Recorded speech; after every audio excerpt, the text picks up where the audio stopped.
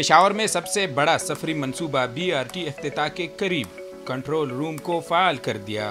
सूबाई वज़ीर ट्रांसपोर्ट ने कंट्रोल रूम का दौरा किया। कहते हैं अफ्ताह के लिए वजी अला के मशावरत से वजी अजम इमरान खान को दावा देंगे। पी आर टी कंट्रोल के ज़रिए हर बस रूट्स और स्टेशन की ऑनलाइन मॉनिटरिंग की जाएगी। मनसूबे की दीगर तमाम तर तैयारियाँ भी मुकम्मल हो गई। सूबाई वज़ीर के मुताबिक आवाम को बहुत जल्द खुशखबरी देंगे।